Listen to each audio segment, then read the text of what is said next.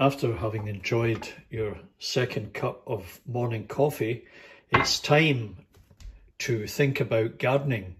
And here is the best tip of the day to get free composting material that will also take care of some of the pests that might interfere uh, with your vegetable and, and flower growing.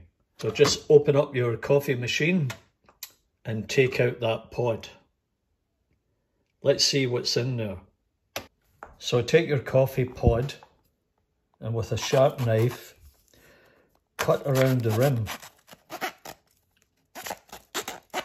exposing the inside where you'll find the coffee remains and empty them out and you can recycle the plastic coffee pod.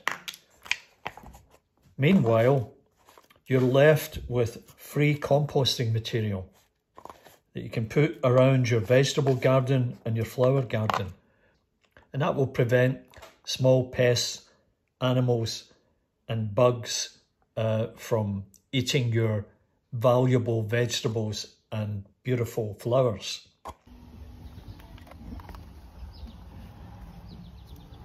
So here we are in the garden and just sprinkle it around your flowers. That will ward off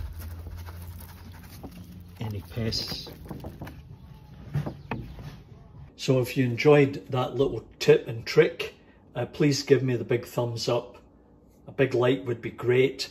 And we look forward to seeing you next time for Charlie's Tips and Tricks. Bye for now.